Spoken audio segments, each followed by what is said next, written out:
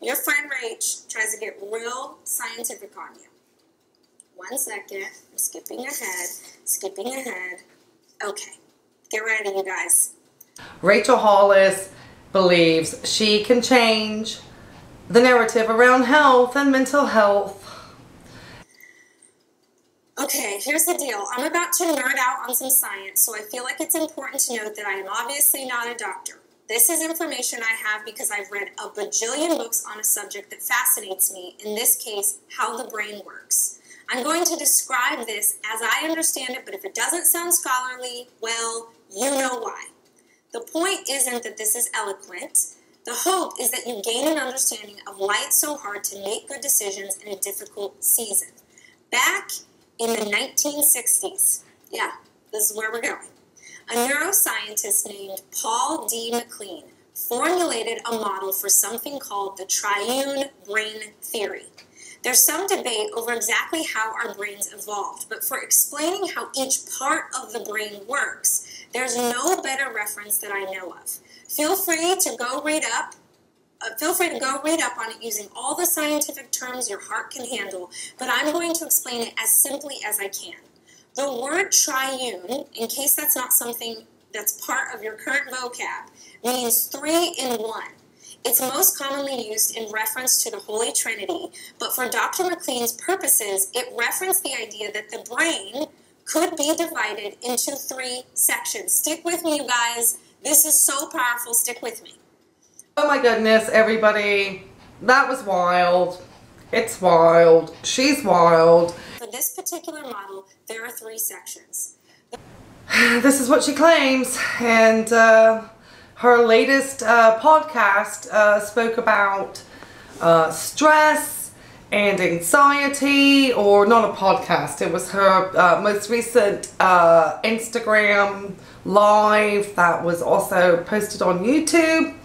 And it just seems to be constantly the same that Rachel Hollis is just really trying to move herself into the health and mental health space. And I think it's really bad. And so today I'm going to talk a little bit about why I think that's bad and why the normalization of these so-called non-expert experts is really getting quite insidious in our culture and something I'm hoping that we can have an intelligent conversation around and not just describe people who have concerns about unlicensed non-credentialed individuals giving information on uh, topics that they're not qualified to give that information on, uh, why it's problematic. It's not because we're haters, it's because we do actually have concerns coming from a professional level as to why it's just really inappropriate. So today we're going to talk about that. And so Make sure you comment down below. My name's Ray. This is my channel, Life in ViBe. And I'm actually just putting out my opinions and just putting out my commentary on this. But I'm hoping that some of the things I'm going to say today may possibly have a little bit more weight and a little bit more validity because I do hold a license as a registered nurse. I want to throw out there, I'm not a therapist. I do obviously have to help patients manage stress and anxiety under the doctor's diagnosis and prescription of medications. But when we do do charting, uh, we will mm, also speak about cognitive things and that would be whether the patient has actually said I'm stressed or whether the patient is showing signs of stress anxiety. So those are things that we note down. Obviously we always act as the eyes and ears for our providers and that is part of my job as a registered nurse. Now I do specialize in more things related to the cardiac system and so forth. I have a Bachelor of Science in Nursing. I have a Bachelor of Education also and I have obviously my concerns. I don't want people getting health advice from people who don't have the licensure to get it. And Rachel Hollis loves to put out there constantly that she's not a doctor, but in the same sentence will tell somebody to go get blood work done. I would highly suggest that you get blood work done,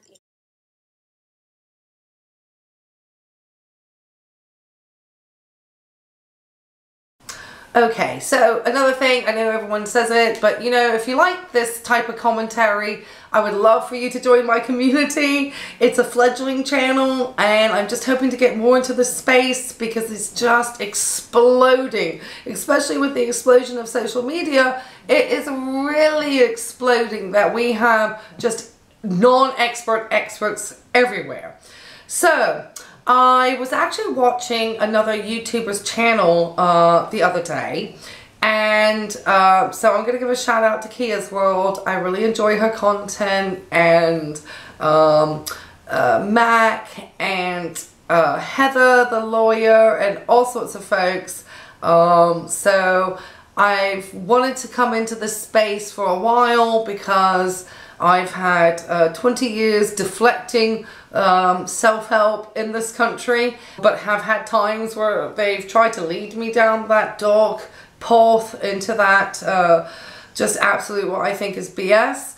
Um, so I'm, you know, have had, I always say, vulnerabilities that will put me out there. But I discovered uh, the other day that uh, Rachel Hollis is planning a tour of the uh, United States to some cities and I believe I'm not really trying to promote it because I think it's just like uh, what's it a tour of uh, I mean is she like um, touring because her boo thing is actually um, a tour manager I understand for Shawn Mendes and so you know is she now inspired with the idea of, you know, doing a tour uh, because she can see how that makes money. I mean, this is somebody who certainly is not opposed to trying to figure out a way to turn a buck uh, when it comes to trying to hand out advice to people. She may be also thinking like, shoot, if he's going on tour, then Girl Rach is going on tour too. And she loves the word girl because she started like 14 novels with the word girl in the title. And so she just really loves to like also demean women in some ways because I certainly would not appreciate at my age anybody calling me a girl okay i'm well into my 50s and to call me girl uh, is insulting to girls you know especially I, especially, you know, just, it would be just not appropriate. Now, I hope since she's actually considering going on tour, um, that she chooses to take a tour bus because we know she hates sitting next to normal human beings on a flight because she finds their food to be offensive. And personally, I would find it offensive to have to sit next to her, uh, curling her nose and snarking her nose up at me uh, because I want to eat a tofu scramble uh, sandwich or something, you know, or whatever I have going on. It's extremely uh, hateful about actually having to even share a flight with anybody. So I think a tour bus would be far more appropriate in this scenario. Anyway, I didn't really, you know, she really didn't give a lot of details about what she would be doing at the events as she tours these cities across the US. And I'm guessing she's still going to see how the ticket sales go before she really sort of heads out the door. You know, maybe a tour of bookstores might be appropriate. I don't know.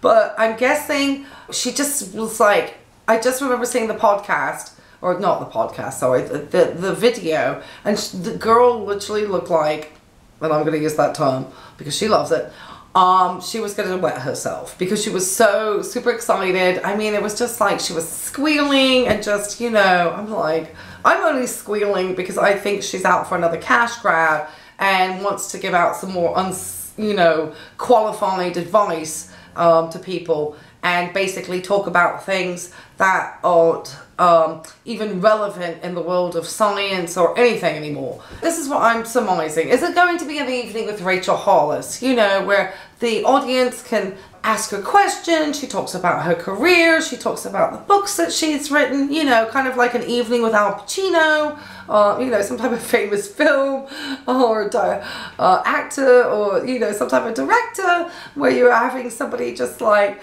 talk about what they've done. I mean, is she like, you know, trying to do like a party because she was a party planner? Is it going to be dancing and uh, games and fun activities for the participants?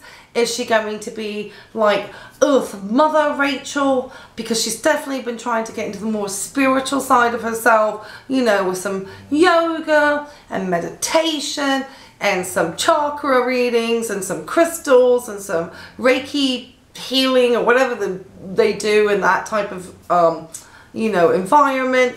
Is she going to be suddenly Rach the nutritionist and uh, some type of, you know, Julia Childs figure where she's, you know, teaching, you know, intuitive eating and intermittent fasting or keto or whatever the latest buzzy craze, you know, eating fad is at the moment. I mean, is she going to be doing that? Um, is she going to be like, you know, courageous single mom after a divorce and giving advice to those women about, you know, how to get back in the dating game, you know, after she like was single for like a like a brief minute and then, you know, started dating long term the first guy she ever probably went out with again. Is it going to be like the big sister age, you know, where she's holding hands with college girls and, you know, walking them through their 20s and first dating and getting your first jobs and she's had no experience at because she never went to college but she's going to teach college girls how to get through their college lives.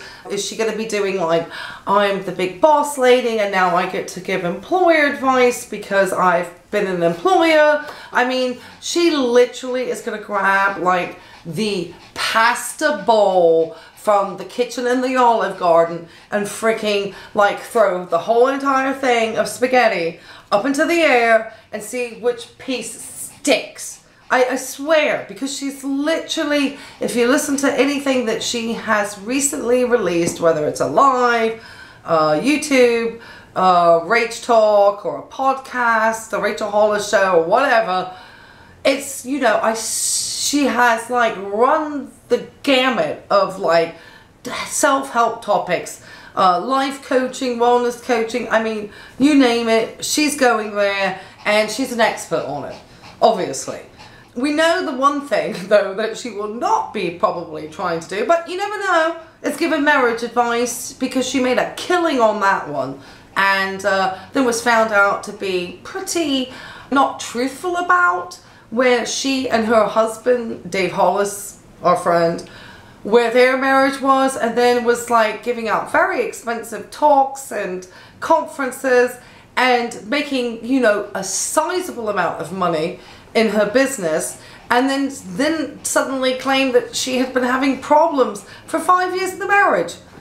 You know, so I just decided to take a little bit more of a look, not just my opinion, but why other experts might think that this type of behavior, not just from Rachel Hollis, but from any of these non-expert influencers, why this is just becoming really problematic and why uh, is it becoming so normalized for us? I mean, we're demonizing our doctors, our scientists, and anybody who actually has qualifications and professional licensure, but then we're holding up in like awe and you know waiting on every word from somebody who isn't qualified to even give that advice. And it's, it's bloody dangerous I think. And I think it's really inappropriate. I think it's a crash grab for these people. Half the time I've said like the Brendan Burchards they're failed failed authors. And now you know they can see that people make a killing in this life coaching stuff I mean an absolute killing. So anyway, with that said, because I'm, now I got heated, because I just, I think it's disgusting the amount of money they make and the amount of just damage they can actually do because they don't know what they're doing. So anyway, let's get to the actual experts and see what they have to say with it. So I decided to look for, because anybody who has completed academic studies and written academic papers, even you know, a, you know, postgraduate uh, level, will know that you have to cite people, and any studies or anything that you're using should be within research, peer studies within the last five years. Anything that's five years or older, especially in the world of science and medicine and mental health and so forth, is probably going to be pretty dated and not actually what we are finding to be true at this time. But a lot of these self-help folks I've discovered love to quote like 60 year old studies and 40 year old studies and they love buzz terms. So I decided to just actually look at what a clinical psychologist um, would think about this. So I found, and I'm going to trash this person's name because I always do, uh, but I believe it's pronounced Goali Saedi Bo Bo Bo or Bocci. I apologize. They are a PhD um, in clinical psychology, which they obtained from the University of Notre Dame and not too shabby of a school. Not too shabby of a school. So she wrote an article back in 2019 and I'm going to put all the links to all of my cited articles down below. Um, it was named The Problem with Experts in the Age of Influencers and she in this article spoke or wrote I should say about how she became intrigued with Rachel Hollis and her book. And she does preface that she never read it and it was Girl Wash Your Face.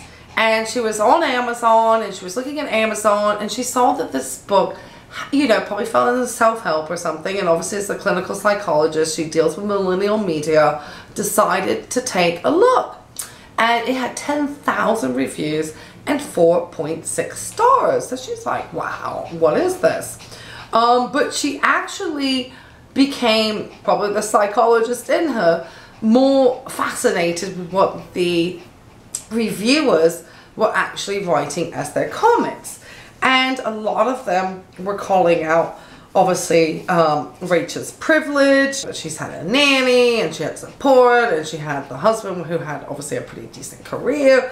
Um, how she had been able to take the time do maybe some of these things or write this book or you know give this advice because of some of the privilege that she enjoys and most importantly though was that the fact and I will uh, quote uh, the doctor here to the fact that she was using her own life experiences to act as an expert on areas in which she had none.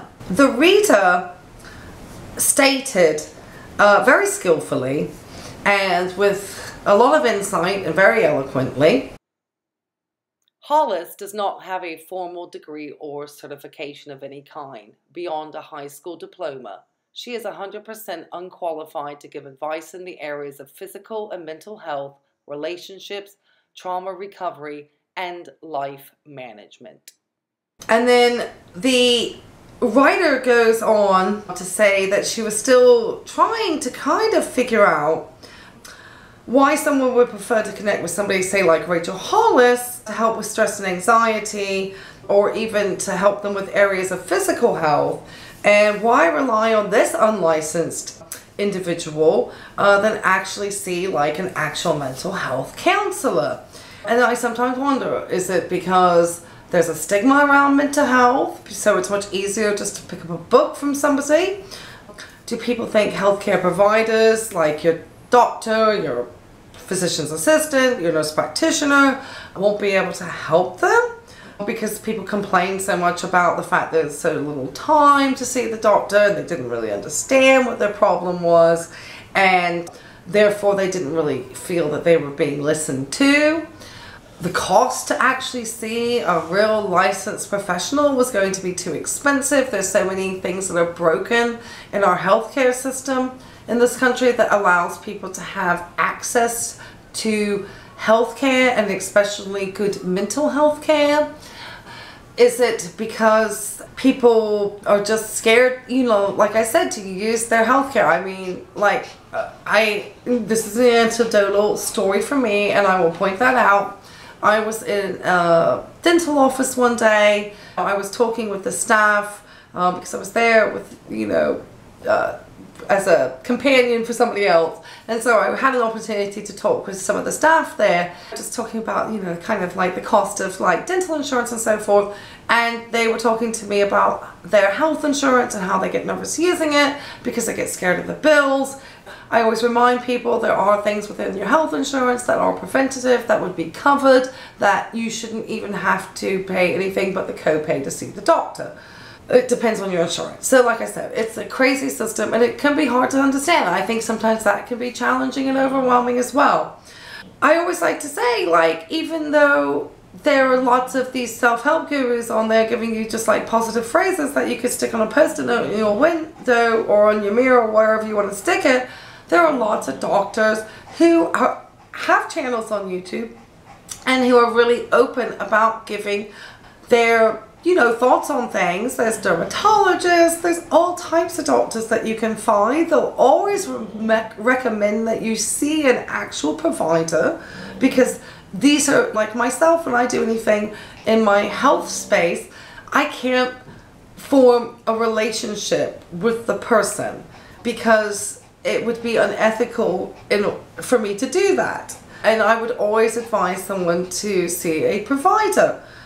But having a source of information that comes from actual licensed individuals, I think is much more important than having Rachel proclaim multiple times she's not a doctor and that she wants you to go and get blood work. The fact that she's even saying that before you've spoken to a provider is not appropriate in my mind either. The person who reviewed Rachel's book went on to say Marrying the only guy you've ever dated and having kids doesn't make you a relationship expert, it makes you a wife and mother. Losing weight and exercising doesn't make you a trainer or a nutritionist, it makes you a person who has eaten well and exercised to better health.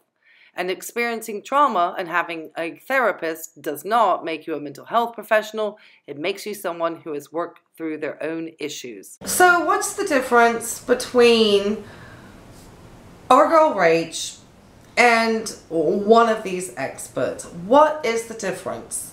Because she's an expert on everything lately. I mean, she has literally been an expert on everything, it seems, lately.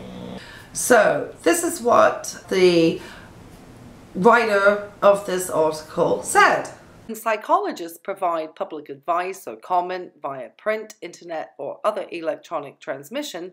They take precautions to ensure that statements, one, are based on their professional knowledge, training, or experience in accord with appropriate psychological literature and practice, two, are otherwise consistent with this ethics code, and three, do not indicate that a professional relationship has been established with the recipient.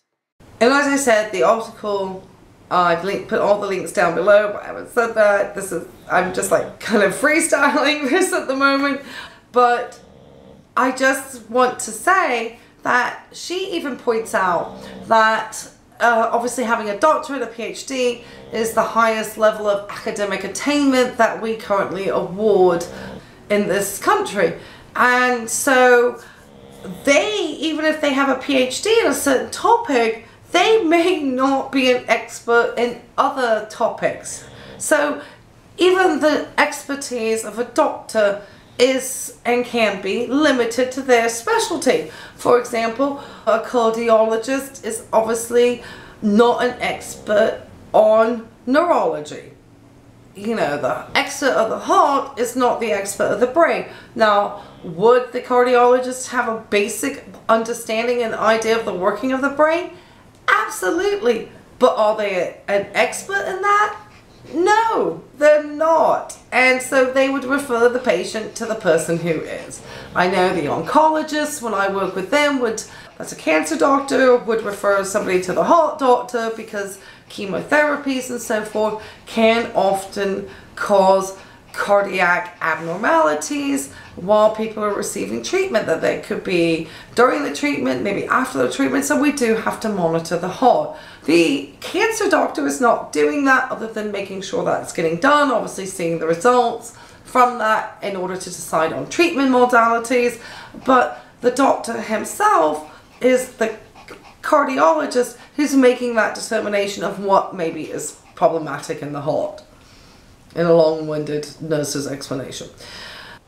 She goes on to actually say with the influencers and your bloggers and even some, you know, self-help YouTubers and so forth. The volume of bloggers and influencers has exploded with the rise of Instagram advertising and marketing.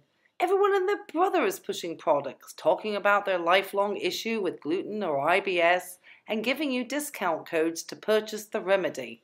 While a select handful of these individuals actually bring in six figure incomes simply from product pushing, one of the biggest dangers is how normalized it has become to treat non experts as experts. And my thing that gets me sometimes really concerned when I was even reading her most recent uploads that I saw the other day on the stress and anxiety, just the number of readers' comments down there that are just like, oh my god, thank you so much, this is just what I needed. It's appealing as somebody who thinks, obviously, yeah, it's good to have a chat with your girlfriends. I mean, my girlfriends tell me stuff that makes me feel good all the time, but that should not replace an actual professional. If you really think it's a long-term stress and anxiety, then it may need to have some type of regulation of your actual chemicals of the brain and so forth. But only a doctor can determine that. And even here with our writer of this article, they would say that they can't prescribe medications. They're a psychologist. Medications for illnesses would have to come from your psychiatrist or a medical doctor. They are the ones who can prescribe medications. But you know what? You know, she, I just feel Rachel Hollis is a snake oil salesman and she is just figuring out ways to make money from people. Whatever the cool thing is that she thinks is going to vibe with somebody and get her the largest audience and an audience that's going to be receptive to her advice and information, then that's who she's trying to capture. And it's no, we're not haters. We are just professionals who think that the rise of these these non-expert influencers is becoming way too normalized okay? It's just curated things. You know i love to cook. I really enjoy it. I'm a home chef. I would never claim that I am a like a true chef, okay? If I want to watch a true chef cook vegan food, then I'll watch Avant-Garde Vegan. I will not post my making of like my braised beets. You know, that's not probably going to happen. I'm not even a nutritionist like that. So I think the thing that we need to make sure, especially when we're getting so much information, is that we're getting information from credible sources. And so that's like really the thing I always want to say.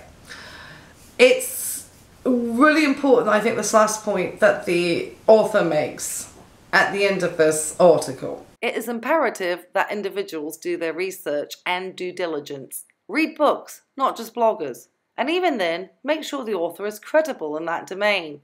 Then read some more. Yes, it sounds like a lot of work, but when it comes to one's body, enough caution cannot be exercised. I'm going to paraphrase this last part. And she explained, because you know, these people always want you to do like meditation and stuff. As long as you don't have major trauma history, then picking up meditation should not do you any major harm. Sink that in, okay?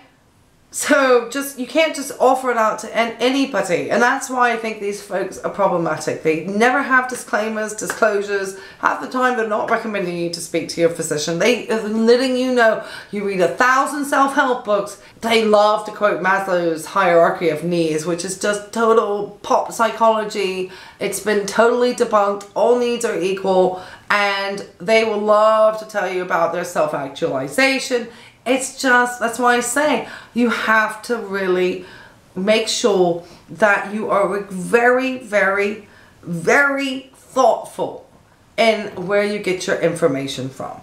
But when it comes to supplements, foods, oils, exercises, and skincare, be mindful of the advice you heed. I don't think Rachel Hollis is really helping people. Maybe she does. They claim they do. The only thing I see her helping really at the end of the day is her bottom line. And her bottom line has been getting greatly affected. She's obviously can't do the marriage counselor, counseling conferences anymore. My debunking of the triune brain theory. Nevertheless, the triune brain idea has tremendous staying power because it provides an appealing explanation of human nature. If bad behavior stems from our inner beast, then we're less responsible for some of our actions. This compelling tale of brain evolution arose in the mid 20th century, when the most powerful tool for inspecting brains was an ordinary microscope.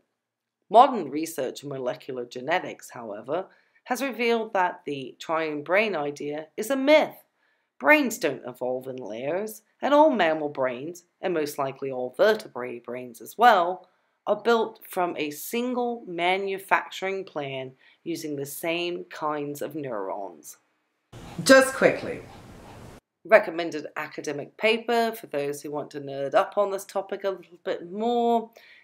It is The Brain is Adaptive, Not Triune How the Brain Responds to Threat, Challenge, and Change.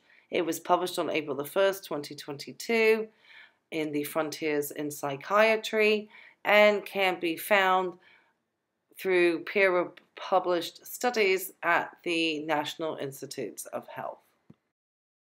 I just wanted to thank you all and I just want to thank all my new subscribers anybody who uh, even just watched to the end of this video it was a little bit different from one of my just reaction type style videos I wanted to just do a follow up because so many creators this week have brought out great content regarding Rachel Hollis. So to those creators, Kia's World, Heather the Lawyer, there's Mary Ellen at Okayish. She's got great content too from the perspective of an actual therapist and mental health counselor.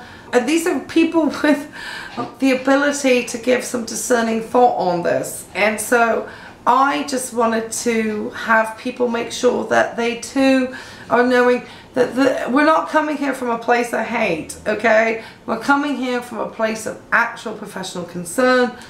People in the medical field, we are extremely busy. So we don't really have time to always address this to the public because we're busy doing our jobs. But I really wanted to take time to make sure that when you are getting your information about health or before anyone even suggests that you get blood work, you know, talk to your provider first, please.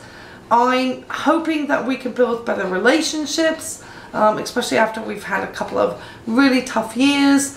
And I look forward to being able to, to maybe just get you to think maybe, you know, um, question, question who these people are, and question if it's really appropriate to get advice from somebody just because they've got pretty pictures or they said something that resounded with you. Um, just, that's the hope for this channel. And I just want you to keep your money in your pockets where they need to be. And if the money does need to be spent, it's going to be spent in ways that are really going to benefit you at the end of the day. I appreciate you all for stopping by. Thanks so much and see you next time. It's gonna be wild. oh, and Dolly And Junebug, thank you for taking time to be with me. These are my two puppy dogs down here that have just been giving me wonderful support while I record this content for everybody.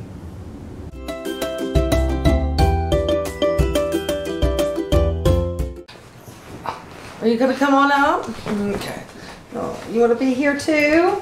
Okay, we got a, it's a family affair in this household.